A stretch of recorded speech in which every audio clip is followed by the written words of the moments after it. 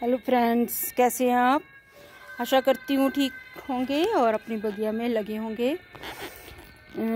सबसे पहले मैं आपसे गुजारिश करूँगी, मेरे चैनल को सब्सक्राइब कीजिए, लाइक कीजिए, शेयर कीजिए मेरी वीडियो को। और छोटी छोटी वीडियो में डालती हूँ जिससे आप, आपका समय भी ख़राब ना हो और आप छोटी छोटी बातें अपने घर में इम्प्लीमेंट ला सकें। ये देखिए, ये मेरे टमाटर के पौधे हैं, जो कि मैंने घर में ही अपने जो हम किचन में जो यूज़ करते हैं टमाटर तो उसके सीड से मैंने इसकी पौध बनाई पहले गमले में और फिर उस पौध को ही मैंने यहाँ पर ग्रो किया।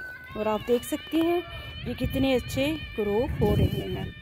तो आज मैं आपको इसके बारे में बात करूँगी कि जब ये थोड़ी थोड़ी ग्रो हो जाए तो हमें इसकी देखिए जो, जैसे मैंने इसको मिट्टी लगाई हुई है, इसकी हमें मिट्टी लगानी पड़ती है, देखिए ऐसे, ताकि ये अच्छी तरह ग्रो हो सके और इनको सपोर्ट भी मिल जाती है ऐसे। क्योंकि इनकी जो, ये स्टेम्प्स होती हैं, वो छोटी होती हैं, पतली होती हैं तो ऐसे करने से इसको स्ट्रेंथ मिलेगी।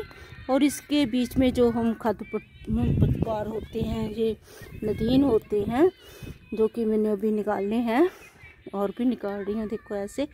तो ये भी हम निकाल देंगे ताकि हमारी जो मिट्टी है, इसकी सारे न्यूट्रिशन ये ही ले सके, पौधा ही हमारा ले सके। और इसके नीचे सर्कर होते हैं ये तो ये भी हम काट सकते हैं ताकि पौधा ऊपर की तरफ़ बढ़े और फिर ये और बड़ा हो सके।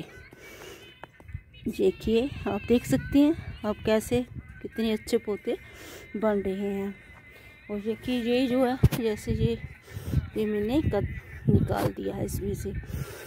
और इसके अलावा आप देख सकते हैं कि इसके बीच में, ये देखिए, फूल भी निकलने शुरू हो गए हैं।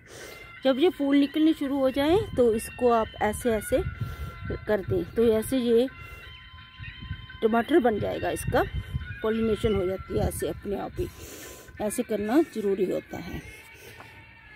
अगर हम जल्दी चाहते हैं, वैसे तो वैसे भी टमाटर बनेगा, लेकिन अगर हम जल्दी चाहते हैं तो ऐसा करना ज़रूरी होता है। देखिए, इसमें भी बन रहे हैं। ये देख सकते हैं आप, इसमें भी ये देखिए, बन रहे हैं। तो इसमें से आपको घास निकालना पड़ेगा।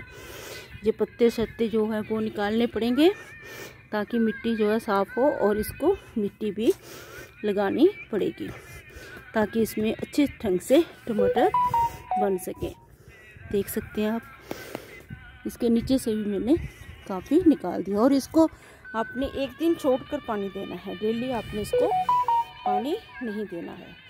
एक दिन छोड़ कर पानी दें, जब जिस दिन पानी दें, उस दिन इसको अच्छी तरह पानी दें। और नेक्स्ट डे आप इसकी गुड़ाई कर सकते हैं, अगर चाहें, लेकिन हफ़्ते में एक बार गुड़ाई तो इसकी करनी ज़रूरी है, ताकि आपको अच्छे टमाटर मिल सकें।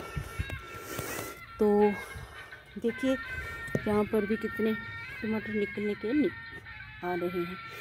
सभी में निकल रहे हैं। सो देखिए, ये सब मुझे फ्री में ही मिले हैं, ये इतने पौधे।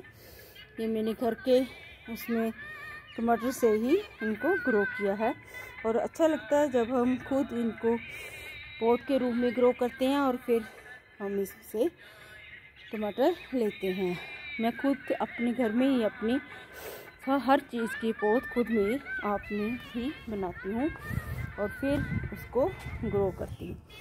तो आप भी ऐसे करें और ऑर्गेनिक टमाटर पाएँ। आशा करती हूँ आपको ये वीडियो अच्छी लगी होगी और आप इसको शेयर भी करेंगे और इस पर इम्प्लीमेंट भी करेंगे। आप ज़रूर घर में ऐसा करके देखेंगे।